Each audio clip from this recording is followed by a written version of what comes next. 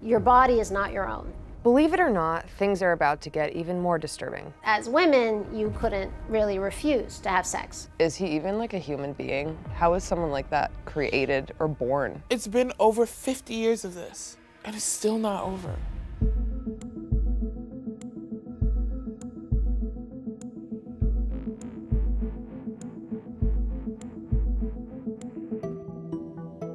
Welcome back to Rise and Fall. This particular episode is very hard today, so we're warning you now. You might know them as the Children of God or the Family International, but they've gone through many names. We'll be referring to the group as Children of God throughout this episode. We are so lucky to have a Children of God survivor, Faith Jones, whose grandfather actually started the cult, here with us today. So let's get into it. Picture this, kiddos. It's 1968 in Huntington Beach, California. Just last summer, up the California coast in San Francisco, nearly 100,000 people were indulging in the Summer of Love, a celebration of sex, drugs, and rock and roll that reverberated across the whole U.S. This is you. Sex, drugs, and rock and roll. You know what? And I wear it proudly. Your mom hates those godless hippie fornicators, but she will let you go to Bible study at your local coffee shop with a cool new pastor. His ideas about free love are actually a lot like the hippies. He tells you Jesus wants you to f in your in your maybe even eat something, you know? Oh my God. Even mom can't argue with that. So how did a man preaching about Jesus and free love out of the back of a coffee shop bring about one of the most pervasive and longest lasting cults in US history, still in operation to this day? Let's find out. David Berg was born in 1919 in California. His parents were evangelists in the Christian and Missionary Alliance. From a young age, he believed his existence was miraculous, his purpose divine. The first self described miracle was his birth. He survived being born with the flu during the 1918 influenza pandemic. According to the Family International website, at three, a car ran over Berg's foot, and despite doctors believing he would never walk again, he soon was walking. In another alleged medical anomaly, he nearly lost his sight after a water heater exploded in his face, but once again, recovered against the odds. It seems like the universe was trying to delete him. Berg claimed to have a sexual relationship with his nanny as a child that he viewed as a positive experience, a deeply harmful perspective that would contribute to future claims of child abuse within his organization. This dynamic would ultimately come back to haunt his family, culminating in his stepson's tragic murder-suicide, but more on that later. As an adult, he became a pastor for the Christian and Missionary Alliance. He worked at a small church for a few years, but left under mysterious circumstances. He claimed he quit in protest of racism he witnessed in his congregation. However, he did preach anti-black and anti-Semitic beliefs in his lifetime, such as, quote, Jews and blacks were conspiring to ruin the world, end quote. I think there's a more plausible explanation put forth by his estranged daughter, who alleges the real reason he left was due to his sexual misconduct. After leaving the Christian and Missionary Alliance, he worked as a traveling evangelist until his mother died in 1968. He then took over her work at the Light Club Coffee House about 100 feet from the sunny Huntington Beach Pier. It was here he established Teens for Christ, melding Christian beliefs, self proclaimed prophecies, and his free will and law of love. A cool way for a 50 year old man to convince teen girls to have sex with him. Got a lot of red flags right out of the gate. It's giving Manson energy. Mm-hmm. By 1969, he renamed the group Children of God and referred to himself as Moses David. After one of his prophecies foretold a devastating earthquake, the group left California and they began to spread across the Midwest so that they could warn people about the end of the world. At first, recruitment tactics were relatively standard, handing out literature and scrapbooks depicting their beliefs at college campuses or protests, seeking an audience of young radicals open to an alternative lifestyle. He encouraged these young people to become estranged from judgmental parents, calling for a revolution for Jesus. They targeted people at juvenile halfway homes, local YMCAs, retirement homes, and gang members, amongst others. Oftentimes, they sought donations like money or meals, if not actual converts. By 1971, the group had caused enough controversy that Berg went into hiding, leading the group from a secret undisclosed location for the rest of his life. Some believe he went as far as Japan. Even before that, he was an elusive figure, never preaching in public and rarely photographed. The most his followers saw of him was drawn as a cartoon in cult literature. originally called the Mo Letters. He delivered his messages in comic book form, mixing the images with liturgy. I love watching anime and I love comic books, you know? Very deep in the Marvel universe. Mm-hmm. I would have liked the comic books. I like comic books. I mean, how narcissistic do you have to be to have people make a comic book about you? I don't know, maybe it's more digestible. Yeah, and it's also more appealing to kids. Yeah. So you would have been so far kind of into yeah, this part. Because I would have been a teen, right? Yeah. Teen Joyce is gullible. I'm Faith Jones. I am an attorney and an author, and the granddaughter of David Berg, the founder of the Children of God. What was your relationship with your grandfather like? My grandfather pervaded every single aspect of our lives. His teachings, the Mo letters, which is, you know, the comic books, that everything was all based on his teachings. But at the same time, I never met him in person. By the time I was born, he was already in hiding. His whereabouts was the most highly kept secret of the group. My mother, she joined when she was very young, I think maybe 20, 21 years old. She came out of the hippie generation. My father was the son of the founder. My parents really helped found the group initially. He was everybody's grandfather. That was how he was portrayed because when you were in the group, you really left your outside influences, outside families. We had a very unusual and interesting life. Grew up in a big family. My dad had two wives. I knew that that was very unusual in the world, but my parents were very happy. You know, we grew up on a farm with lots of animals and very active. I always looked back on my childhood as being quite happy, which is interesting. But there was also a lot of abuses. There were things that happened that I knew made me afraid, but that wasn't the same as bad.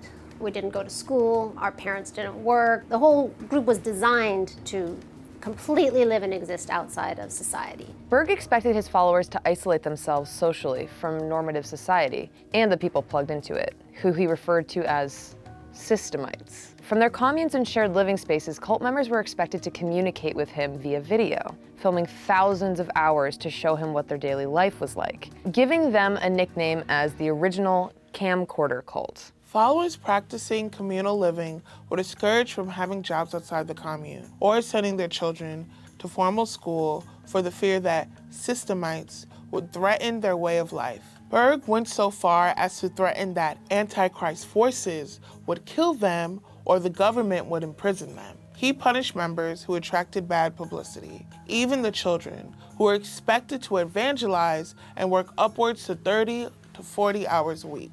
Our homeschooling was maybe a few hours a day. I think for a lot of kids it was a bit sporadic. If there was something more important to do, like go out and witness about Jesus, then you know school was sort of brushed to the side. My grandfather didn't feel that you needed more than about an eighth grade education. I think probably a lot of kids got about a sixth grade education. And after that you were just supposed to learn basic skills because you weren't going to get a job. You were growing up in the family, you were going to have babies, either take care of kids, go out singing, go out witnessing, wash dishes, clean the house. Like there wasn't really something to aspire to. According to the 19 1994 documentary, Children of God, Berg ruled over every facet of daily life. Followers were told how many sheets of toilet paper they could use to wipe themselves. Three. How many cups of coffee they could drink, what they could wear, and more. No one's gonna tell me how many tissue papers to wash my ass with. So. right there, I would have been out. What a rat. Among their many restrictions, followers were generally forbidden to read anything that wasn't Berg's religious literature and were discouraged from taking medicine. So the foundation was supposed to be the Bible, but of course my grandfather had his own interpretation. Some of the fundamental principles were to be separate from society, not work for mammon. They used the verse, everyone lived together and had all things common, which meant that nobody owned anything. You didn't have any personal ownership possessions, you didn't own property, you didn't buy stuff. So you were not supposed to take sort of ownership of your own family even, not your own wife, husband, children. Any money that came in or any money that you earned, you had to turn it over to the group. They didn't believe in birth control, so they had very big families. So how many siblings did you have? I have 12 now, mostly all half siblings. Can You imagine trying to support and feed yourselves and these children on donations and going out busking, you know, it was a very, very difficult life, very sacrificial life. And then the other thing that I think the group really became famous for was its beliefs around sex. Much of Berg's theology mimicked counterculture ideology. The idea of free love became the law of love, a celebration of sexuality that discouraged shame and taboo. While this sounds great in theory, it quickly became exploitative.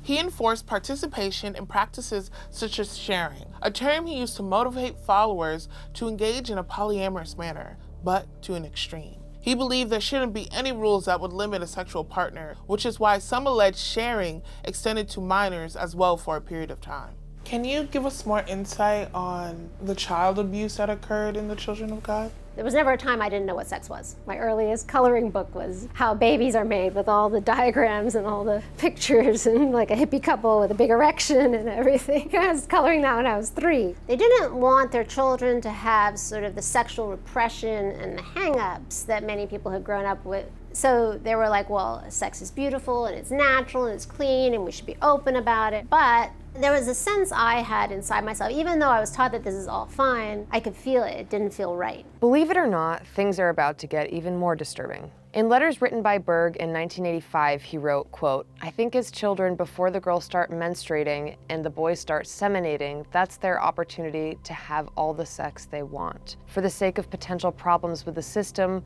we've set a rule for our girls that they can't have sex after their period till they're 15 to avoid them having babies so young that they are shocking the doctors and authorities, end quote. You were considered to be an adult when you were 12. Some of the older girls than me ended up, you know, having to have sex with adult men when they were 12. And I think that really, you know, had a strong impact on them. Former female members have testified that women couldn't say no to being shared when men propositioned them. They were made to feel they were unloving, uncaring, failing themselves in the group, and that they didn't belong there if they tried to refuse sex. Some described it retrospectively as humiliating and compared it to slavery. Contraception was banned, so the woman gave birth a lot to give more children to the cult that abused them for the pleasure of a man. There's like a degree of detachment I can feel myself kind of deploying because this is so horrible as kids, like that's what you're learning growing up. Like you're seeing that happen to your mom or your sister. It's like a prison. And you can't say no. You can't. And then you watch your child. Can't say no either. The gravity of it is just, it's like too much. When the sexualization came into the cult, he did it slowly. He was prepping. People were joining at 14, 15, 16, 19, 20 years old. When my grandfather brought in that this concept of sexual freedom, it was also the 70s. That was all the rage then. That's what everybody was doing. So it wasn't such a stretch. By 1974, the Children of God were forced to flee the U.S. The New York Attorney General had opened an investigation on what they referred to as a cult in official documentation. They were on a mission to find evidence of tax evasion, rape, polygamy, draft dodging, incest, and kidnapping, among other crimes. Ultimately, they were not able to prosecute, a ruling that was considered a little shocking and vague at the time. Apparently, much of the evidence they found fell under First Amendment rights, generally speaking, constitutional protection to freedom of religion. Within a decade of its creation, the Children of God had 4,500 members living in 600 communes across 70 different countries. Now international, with hundreds of communes in dozens of countries around the world, Berg saw a whole world of possibilities, so many people to convert. But how would he reach them? Within a few years, the group had rebranded as The Family, or The Family of Love. Perhaps an attempt at a clean slate after their legal issues, though he still could not escape it. In 1978, the same year as their official rebrand, the country of France banned the group. It's more likely the rebrand was the result of infighting caused by Berg's hungry new recruitment strategies. Around this time, they somehow plummeted even further down the moral rabbit hole. He began emphasizing unchecked sharing, sexual sharing, but with fewer rules than before, as central to their theology. My grandfather had twisted those verses in the Bible that talk about, you know, if a man hunger, give him food. If he thirst, give him to drink, give him your coat kind of thing, right? And he would say, well, sex is a bodily need, just like food and clothing and stuff. So you need to be willing to give that to, you know, your your fellow man. And so they would have a schedule, like even on the wall, with like who was supposed to sleep with who. If there were unmarried men, they would have a weekly sharing schedule. He began preaching that women's duty was to use sex to gain new male members. This practice became known as flirty fishing. Berg gave various instructions on how to accomplish this, writing, tease him, flirt with him, then screw him until he drops over, end quote. My personal experience with flirty fishing was really experiencing my mother doing it. When I was a kid, I would sometimes go along with my mother. For a lot of the women, it was a sacrifice. They were told your body is not your own. And even as I grew up, you know, and being made to sleep with men within the group that I didn't want to, that was always the concept for everything. You don't own yourself. Your body is not your own. Because when you can get someone to believe they don't own themselves, they have no right to speak up, they have no right to say no then you can get them to do all kinds of things. This man sees nothing but his own goals and wants, and then people are just pawns. It really shows that he wants more power because he wants to abuse more people. These changes didn't go over well with all members. Some people did have a problem with it, and there were some people that left. It wasn't like people just accepted it automatically. A lot of people left when they began to have the child sex. Actor Joaquin Phoenix's family were members of the Children of God until 1977. He claims his parents decided to leave the group due to the rise of flirty fishing, but it was not soon enough. His older brother, River Phoenix, who was seven when his family left, said he was sexually assaulted for the first time when he was four years old. River, a talented actor, Hollywood heartthrob, and tragic historical symbol, died by overdose at just 23 years old. Likewise, Actress Rose McGowan described her family's attempt to leave the cult in the early 80s. Her father worked as a cartoonist on Berg's Mo Letters, which later organized into a periodical called The New Good News. When he was asked to start illustrating comics depicting sharing between adults and children, he knew he had to go. Rose was nine at the time, and after they fled, McGowan says her family was forced to move multiple times as the group continued to find, harass, and threaten them into coming back. She told People magazine in 2011, quote, "We had to leave on the sly. My dad, Nat, Daisy and I escaped with my dad's other wife in the middle of the night. I remember running through a cornfield in thunder and lightning, holding my dad's hand and running as fast as I could to keep up with him. We hid in an old stone house and had to boil pots of hot water to take baths. The cult sent people to find us. I remember a man trying to break in with a hammer. While Berg lost some followers implementing his fishy new philosophy, on the whole, the family kept growing. Once again, they were 15,000 members strong at its peak. It wasn't until 1987, when the AIDS epidemic and STI outbreaks began to affect the group, that the practice of flirty fishing ended. The family passed new codes surrounding children's safety in 1983, but ex members say those rules were not seriously acknowledged or enforced for years. They were starting to get heat from authorities, but also even within the group, as these young kids were growing up and then they were starting to share their experiences and share how traumatizing it was for them to have adult men coming onto them and trying to fondle them and stuff when they were, you know, kids and stuff. I think they also began to see that maybe it wasn't the most helpful practice. That didn't change the concept within the group.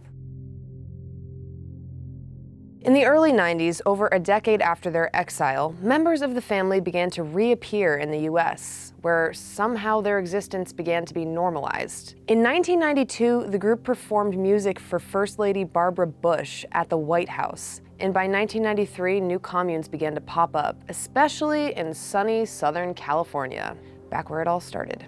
However, around the world they were causing controversy as fishing had gotten them into hot water.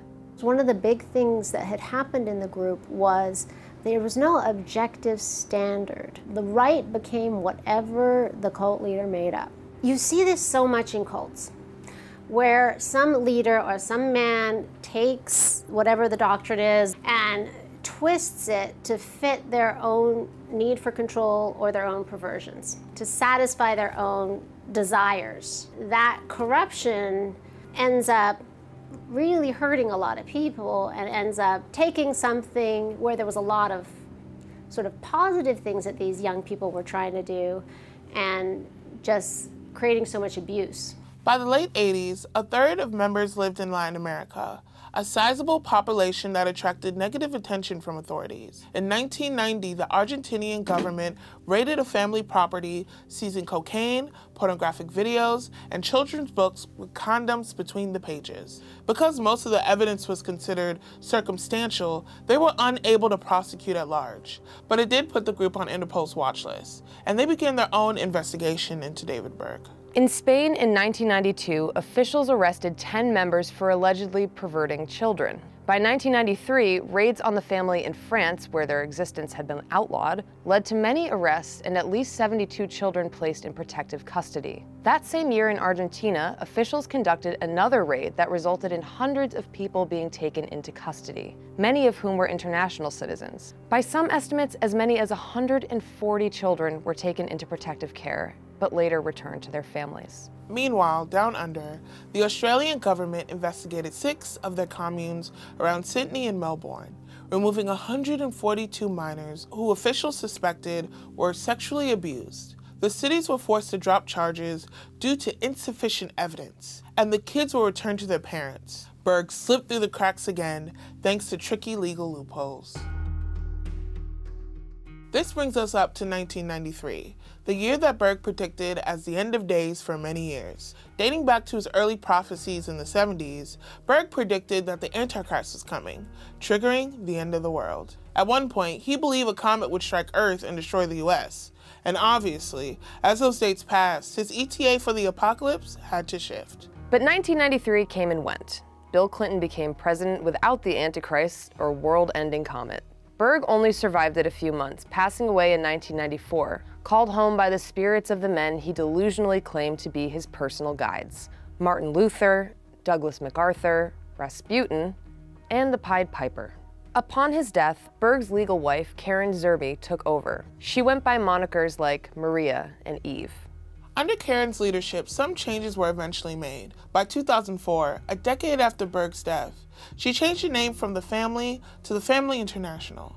With the name change came the loosening of some rules, such as allowing people to have jobs in society and live outside of a commune. However, until 2009, the cult was still heavily focused on the imminent apocalypse. For decades, they preached that becoming one of their members was the only way to ensure your soul would go to heaven after the apocalypse. But with the change in theology published in 2009, they claimed the apocalypse was not necessarily imminent and instructed followers to make plans for the future. Turns out your soul is probably safe for now. In 2005, David Berg's stepson, Ricky Rodriguez, died in a murder suicide after stabbing a former nanny who he alleged had sexually abused him as a child. Ricky left a video describing the murder as an act of vengeance for what he and his sisters had suffered in childhood. He went on the record to say that Berg had sexually abused his own daughters and granddaughters, and that he hoped to one day see his mother held responsible and prosecuted for child abuse. But even as he came forward, little to no action was taken, perhaps a factor into why he would want to take matters tragically into his own hands at the age of 29. He wasn't the only one whose trauma escalated to violent endings. Between 1992 and 2005, the Family International confirmed at least 10 suicides by former members, but groups of ex members believe that number to be at least three times higher, with as many as 30 possible victims. Perhaps most haunting was the Victor program, a separate facility that was created to punitively hold and retrain teenagers and adults who pushed back against Berg's expectations. One ex member says his brother, who later died by suicide, was forced to be a part of it. He was part of a detention and retraining program involving sleep deprivation, food deprivation, manual labor, silence restriction, and isolation. Another ex member who also died by suicide described it as an oppressive and brutal system of thought reform, which utilized mental, psychological, and even physical abuse. Anybody who tried to get out or tried to have their voice heard was punished. It's scarier than any horror movie I've ever watched. When you're in that environment, you're cut off. And you're living in all these foreign countries where you're trying to learn the local language. It's a very different environment than how we think of today when we're just sort of gutted with so much information. And so when you isolate people to that extent, you isolate them from their families, you isolate them from work, and you flood them with this one way of thinking. Every time I think about this call, I just think how evil you could be, how evil really does exist in this world. And sometimes I forget that. David Berg was as evil as it gets.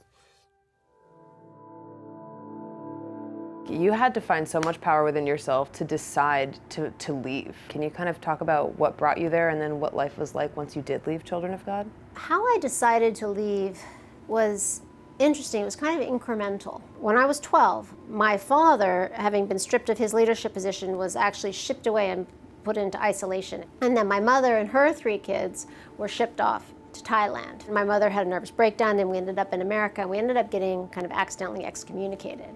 We were living in a trailer. We couldn't find food. I was like with a can in a parking lot. And so my mother going through that too, that was a very traumatic experience for her. And I think she began to see the cult differently. We lived with my grandmother and I went to school for six months. But I actually thought, huh, I like this. Teachers know stuff. I can figure out how to do good on tests and things like that. It was kind of cool. My father eventually came and got us and we went back to the farm. So when we went back, we weren't as in, you know, uh, in our hearts, I think, in some ways. I also had ended up having a brief period of time when I went to China and we had to pretend to be normal because if they found out you were a missionary, you would get kicked out of the country. So having kind of these glimpses of sort of what a kind of normal life was, was able to open my mind up. Going back into that commune where you're just, every movement is ordered, basically, I couldn't see a future for myself. I actually became depressed. And when it just kept going on, I was like, okay, I've got to make a change. So then I had this desire to go to college. And my mother actually supported me in this. It wasn't that I thought the group was wrong. It wasn't that I didn't believe it because I didn't, still didn't really know any different. But this burning desire to learn. I mean, my, I was so hungry for just more than the same old, same old Mo letters rehashed in a different way over and over and over again. You know, I wanted my mind to expand. I had just turned 23 years old when I left the Children of God. After 40 years of bad press, in 2010, the Family International went through a major restructuring called the Reboot that announced the closure of the majority of their communal living spaces, quote, in order to better achieve our purpose of reaching the world with the gospel message and to allow for greater diversity, end quote. Essentially, the group got with the times and now functions primarily as an online organization. Why are they still a thing? I don't I don't know. Why do they get to exist? I don't know. Delete the website. Yeah. It's been over 50 years of this. And it's still not over. The version of the Children of God today is, is was a very watered down version, I would say. They went almost mainstream. So a lot of the doctrines that we're talking about, they don't practice or believe today. I think what's difficult for a lot of people is to be able to distinguish between what was good and the things that they appreciated and what was bad. I think it's hard for people who have been so brainwashed to see that clearly. And when you think about the, some of these people who spent their entire adult lives, you know, from the time they were teenagers in this group, and they sacrificed everything and they gave everything, and they come out and they have no retirement, they own no property. To go back and say, wow, my life was built on this lie, this huge lie, like how difficult would that be? We might never know what is happening in the digital shadows, but the lasting effects of the trauma and abuse many of the adults and children suffered under decades of Berg's leadership is evident. So, what has helped you go through the trauma that you went through in the Children of God?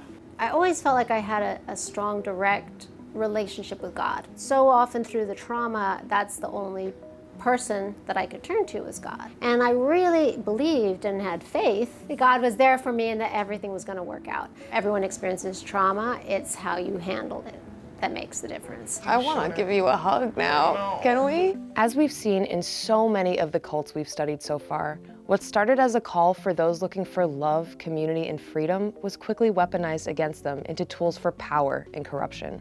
And the suffering for so many has been immeasurable. And that concludes another episode of Rise and Fall.